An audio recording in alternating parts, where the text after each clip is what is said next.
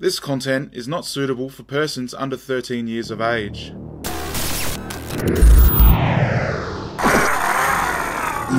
Big reports.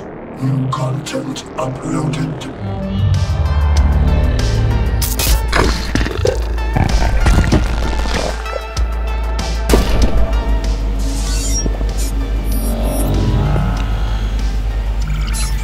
Hello, bots and bits fans. Welcome back. Yes, I am back. It's been a little while since I've done one of these, especially in masterpiece scale. Now, today we're taking a look at the KO MP44 and comparing it to the Takara original. Now, this isn't mine. It's on loan to me from my buddy Ryan. Cheers, mate, for the loan. So I will be treating this gingerly. I will not be paying for this. No way. If I paid $500 for this, I would be furious. First things first, though, you might have seen from the glorious intro that I did buy this from longtime channel fans, showzstore.com. They had a pretty good price on this. Considering the way that things are in the world, I got it shipped out to me pretty quick. Took about two and a half weeks, I think, to Australia. Can't really argue with that. Pretty happy. Plenty in stock. They respond to messages pretty quick, so I recommend you go take a look. Now, when you first get this guy and rip open that gloriously beautiful plain brown shipping box, you might be overexcited and want to get playing with this guy straight away, but I highly recommend against that. The most worrying concern I have for you guys unboxing this and getting stuck into it is the ab crunch section. Now, they've changed the tab on the back here. You can do the front and you can get all that up, but this section here, won't release. And if you go on the TFW 2005 message board, there are a whole bunch of people who have tried to brute force it a little bit and not even really brute force it, just use a little bit of force just to untab this section in here and they've snapped this swivel bit off and they've just fucked it. Like, it's ruined, that's it. So, one of the problems is consistently this screw is over tightened. So, we are just going to uh, loosen it about a half turn so the tab is connecting on this side, so we're just going to flex this plastic a little bit and just wedge this out. Effortless. Kidding me. So look, the problem is... why am I still doing this? Can I come out? There we go. This tab along here, that's not on the original. So that little latch, that's all that's holding it in there. So it clicks in well, but then doesn't really require too much force to get it undone. Pretty good balance. This one, that tab is massive. What you want to do is file that down a little bit or cut it back with a hobby knife. So I'm going to go the hobby knife option. So at first I shipped myself because I thought I just shaved too much of that tab off. But I'd forgotten that I'd loosened the screw. So what I've done is I've just tightened the screw a little bit, given this tab a bit of a trial, seeing if it would hold, tightened it a little bit more until I got the tab connectivity how I wanted it, which was firm enough to click in, but not so firm that any of the plastic would flex when untabbing it. Now, obviously, we all expected this. Even though they said they were fixed, we still knew that we were going to be struggling with these bloody knees. Now, ShowZ Store's recommendation is to just grab some snips and cut that tab off and cut that tab off, and then uh, your knees won't break. Doing that foregoes the second ratchet. It won't work as intended. Now, when I first got this, my upper ratchets wouldn't work either. So the way to use these knees is to hold the front of the knee, hold this back here, and then only move the top ratchet. And I had to force this bit of white plastic inside. You see it's not quite lined up? It needs to be forced. And then it will go in. Now, this section here is going into the slot as intended. And the ratchet doesn't sound too bad, right? So not quite the carnage that I promised you guys, but um, what, what can I tell you?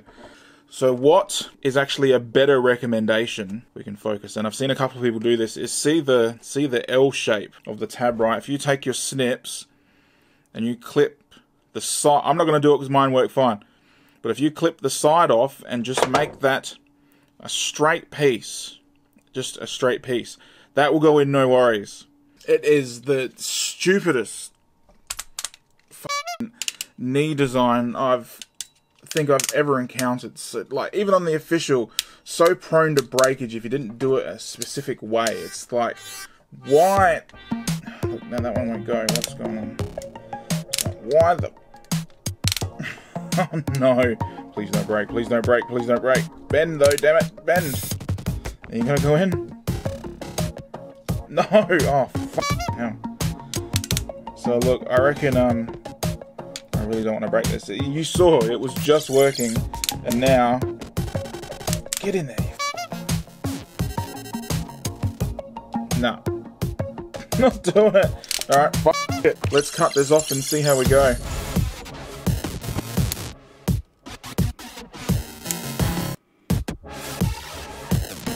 I don't know if this will work. I assume it will.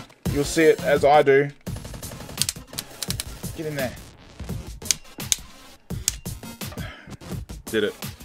So look guys, that's only two of the major fixes that you should do for this um, as soon as you get it out of the box. There is a user on the TFW 2005 message board named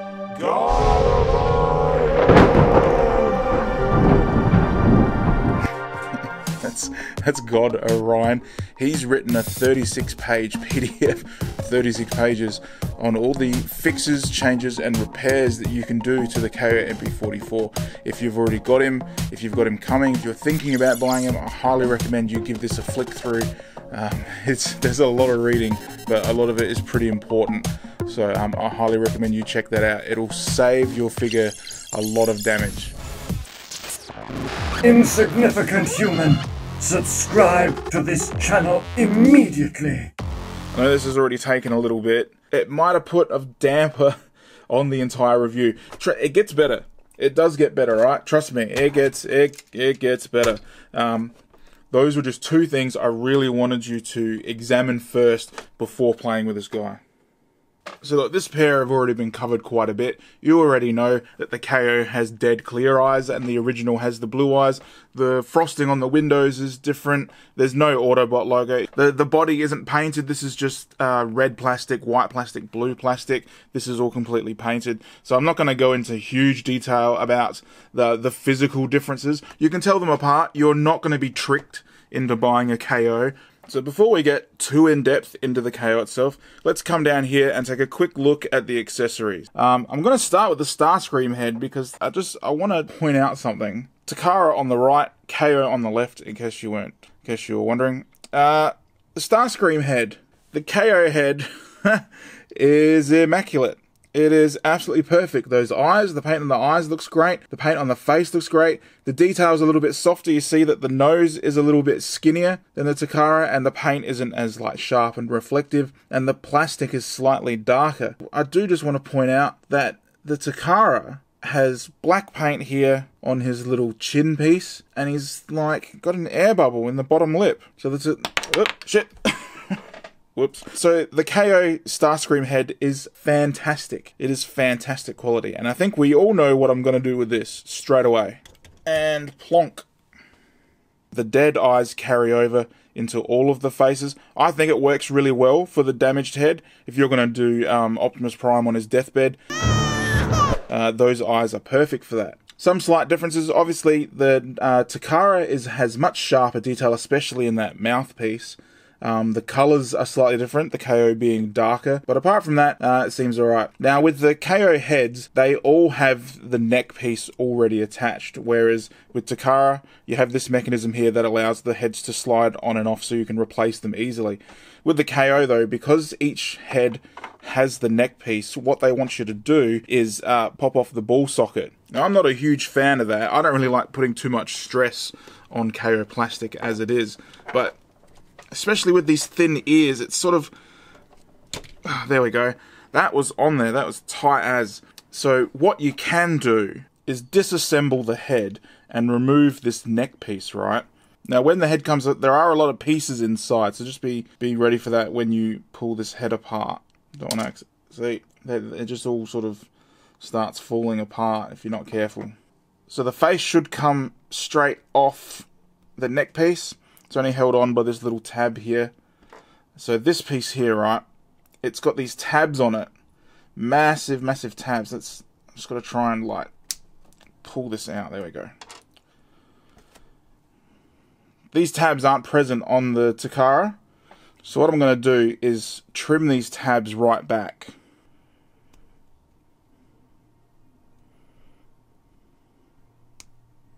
Now this piece goes back on Prime's neck. Oh, that's tight.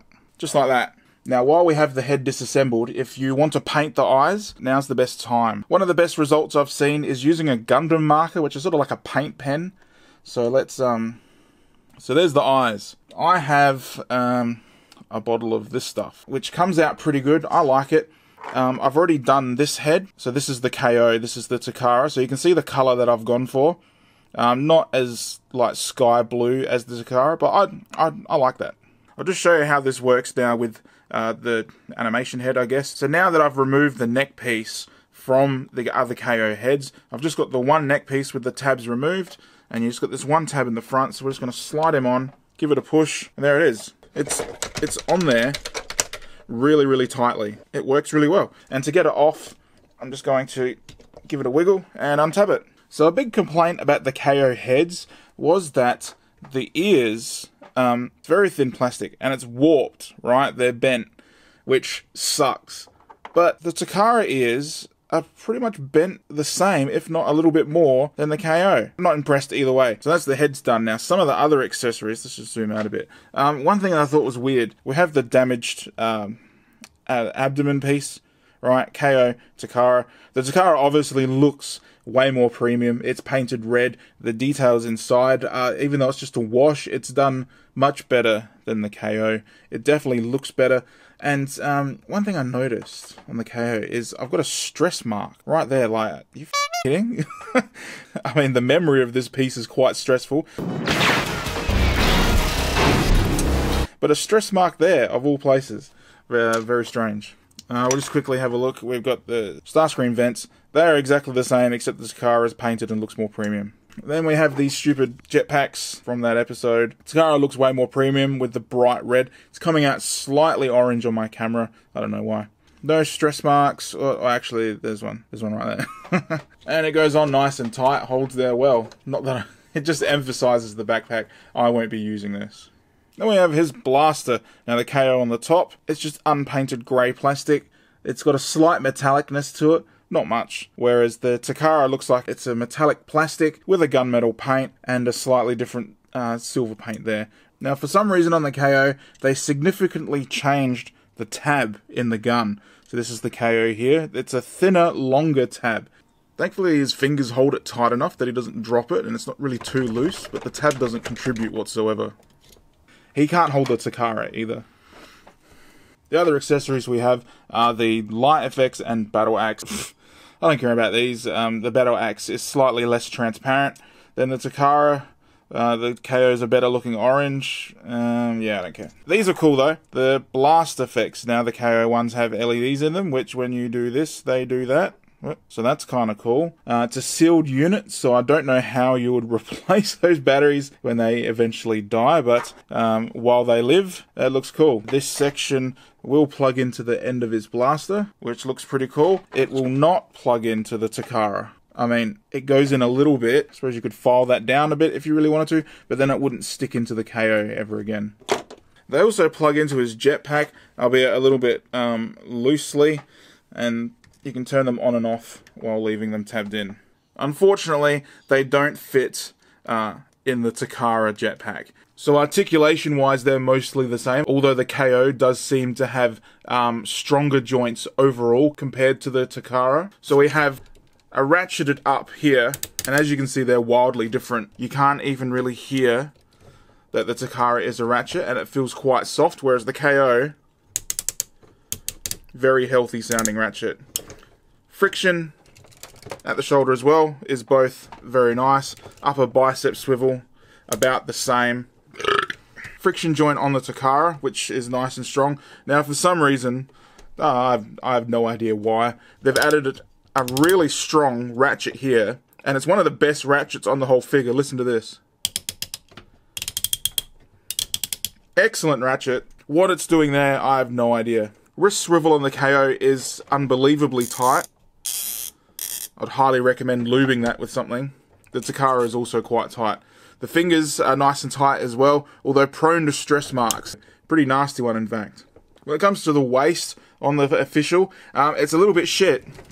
It's a little bit shit. It is very loose, uh, very floppy. Doesn't untab, which is good. It doesn't feel very premium. On the KO, it's much stiffer, maybe from the joint just being a little bit tighter than it's meant to be. I think it's actually got a little bit of extra plastic in it because you'll see that they don't quite sit the same. The Takara sits in much deeper here, and this is a little bit raised, and there's not really much you can do about that. Even without it untabbed, you do get a little bit of a wiggle there, and you don't. It's just it's more looseness on the Takara.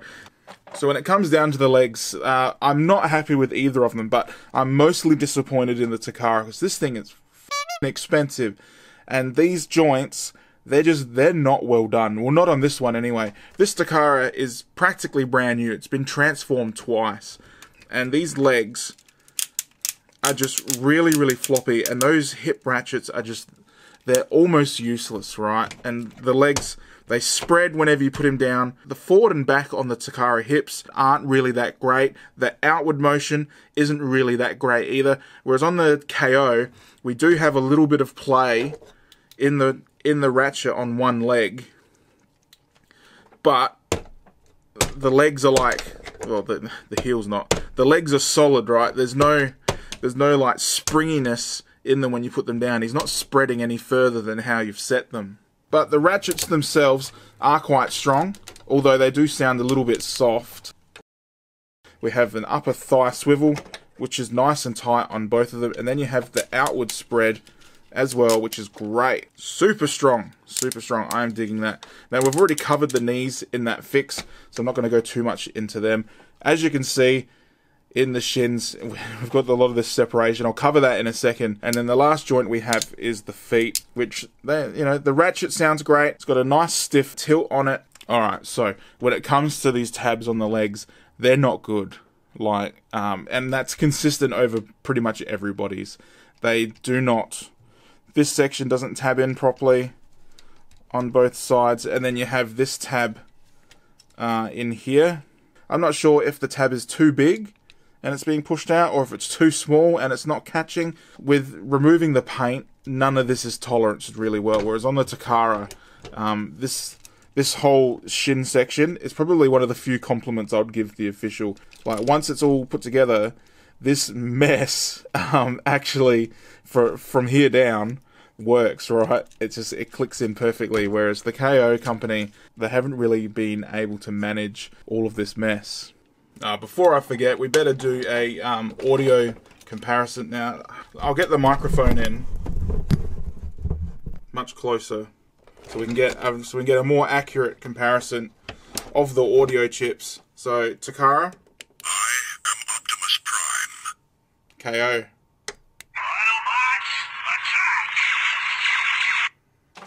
Yeah. So the KO sounds like trash. Um, the voice clip, the clips are just. Uh, like uh, they got the music in them and they cut off too early and Autobots, transform and roll out. yeah. Yeah the the voice chip in this is terrible. All right so i think we've covered um, pretty much most of the shit show that is uh, mp44 in bot mode. I'm not going to show the transformation. It's just going to waste too much time. Most people already know it anyway. Um, i can link you to some resources if you need help going through the steps below. All right all right Alright, there they are in vehicle mode, and please God, don't make me go through that again. That was torture. I'm not a fan of this transformation. Anyway, um, the Takara, that paint job just looks fantastic.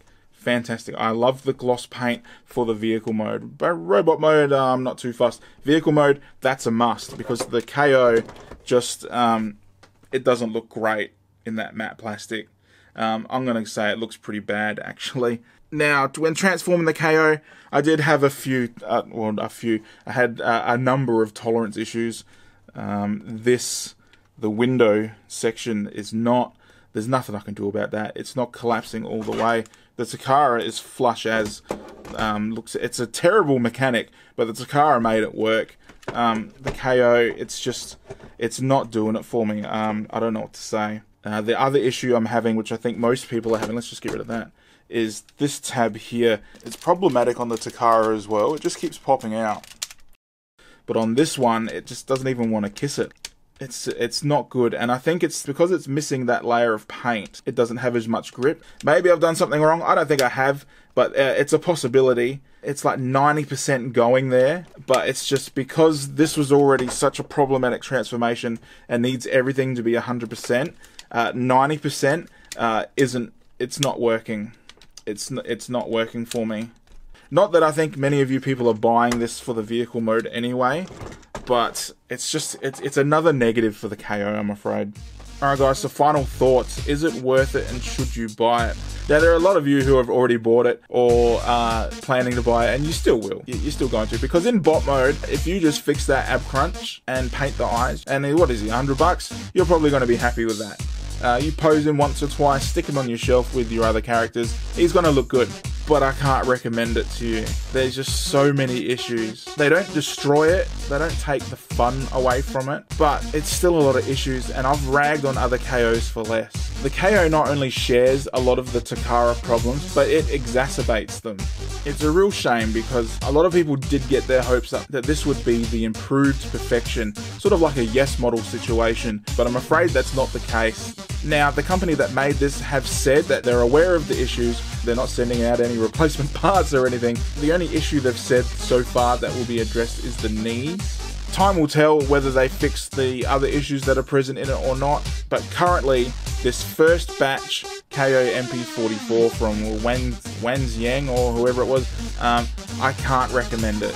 And that's it. Now, if you enjoyed this video and you like what I'm doing, please like and subscribe to my channel. Remember to check out my website for all your bots and bits news. I have all my new videos, I have all my new merch, I have all my socials and Instagram and blah, blah, all that sort of stuff on there. So check it out if you have some time. So thank you very much for your time and cheers for watching.